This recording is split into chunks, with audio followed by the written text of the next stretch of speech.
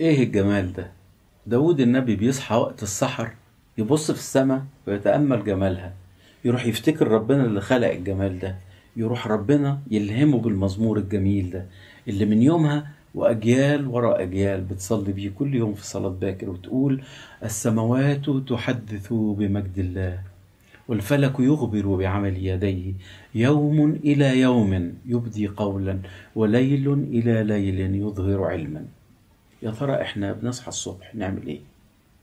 اللي بيصحى قرفان من عيشته وحاطط همومه قدامه واللي مشغول بالمذاكرة واللي مشغول بالامتحانات أو بالمشاكل اللي في شغله.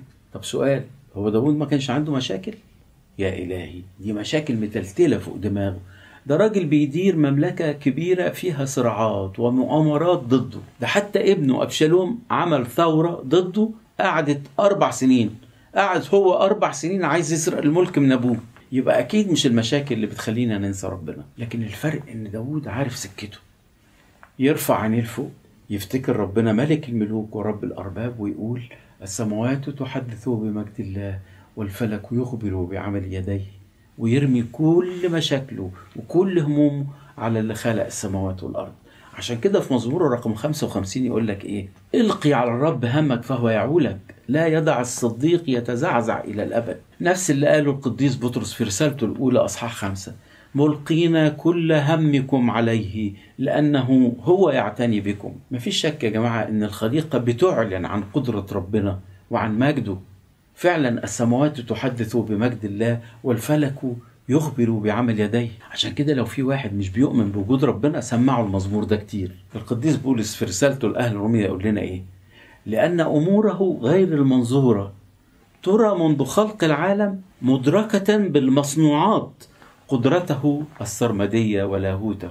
فالخليقة يا جماعة هي الشاهد الأول لربنا عند البشر لأنها لغة بيفهمها الطفل وبيستمتع بها الفيلسوف والعالم. الحقيقة مفيش قطعة شعرية بتحمل دلائل ضد الإلحاد أروع ولا أفضل من كلمات المزمور 19 ده. بيحكى إن نابليون مرة وهو في البحر الأبيض المتوسط كان راجع من مصر وبعدين سمع واحد من الضباط بتوعه ملحد وعمال بقى يتكلم وكده. راح نابليون باصص للنجوم وقال له هو مين اللي صنع دي؟ طبعا الضابط اتكتم وما نطقش ولا عرف يرد عليه. اذ كنا إحنا يا جماعة بنقدر نتعرف على أي فنان من أعماله الفنية.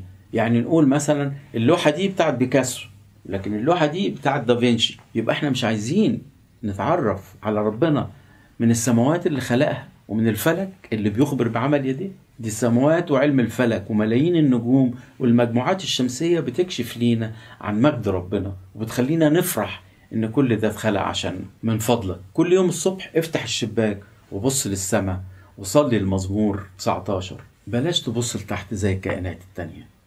اللطيف إن القديس أغسطينوس بيعتبر ان السماوات هي الإنجيليين والرسل. ليه؟ لأنهم غيروا حياتنا الأرضية إلى حياة سماوية. أنت كمان خليك سما. خلي ليك تأثير. خلي ليك دور فعال يغير في حياة الناس اللي حواليك للأفضل. ويكمل المزمور ويقول يوم إلى يوم يبدي قولا وليل إلى ليل يظهر علما.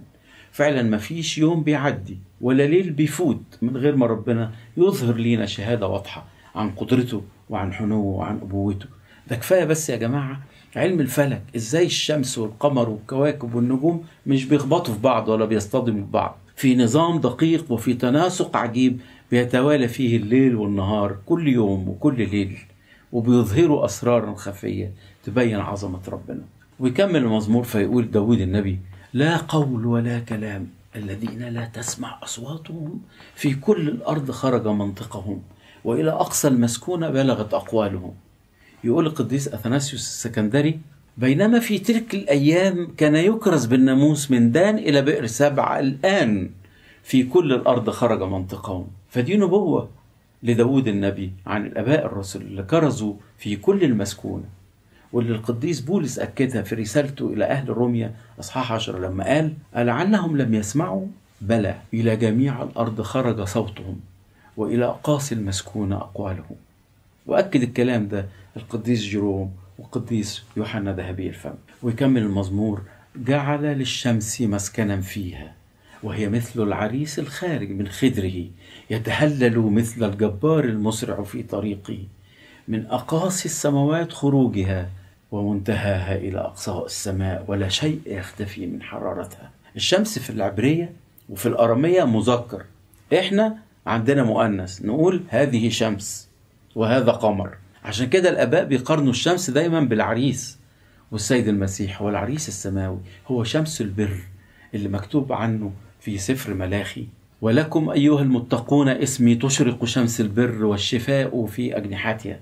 فتخرجون وتنشؤون تنشؤون هنا يعني تنمو. تنشؤون كعجول الصيرة. عجول الصيرة هي العجول اللي بتتعلف وتكبر وبسرعة تنطلق في الغيط وتمرح وتقفز من الفرحة في الهواء. والشمس دي نصبت في كبد السماء خيمتها فبقت عاملة زي ملك جبار يضرب الخيمة بتاعته وبسرعة يخلعها ويرحل لمكان تاني فتشع ببهائها على مشارق الأرض وعلى مغاربها وتبعث حرارتها لتهب حياة يقول القديس أوسطينوس هكذا جاء شمس البر يشرق على نفوس مؤمنيه في المشارق والمغارب ليهبهم استنارة ودفئا روحيا وحياة متجددة على الدوام. إنه هو الذي يعد خيمته. خيمته هنا عن الكنيسة في الشمس على مرأى من جميع الناس. ويقول القديس غريغوريوس أسقف نيسوس كالعريس الخارج من خدره لقد خطبنا عروسا له خلال إعادة ميلادنا سريا. عزيزي المشاهد هكتفي كده بشرح النص الأولاني من المزمور 19 علشان أسيبك تستمتع بكلماته وهي متلحنة. وبتمنى أن كلماته العميقة تنزع أي شكوك إيمانية من قلبك ومن قلب أي واحد لا يؤمن بوجود الله. وإلى اللقاء قريبا مع النص الثاني من نفس المزمور. ولإلهنا المجد الدائم من الآن وإلى الأبد. آمين.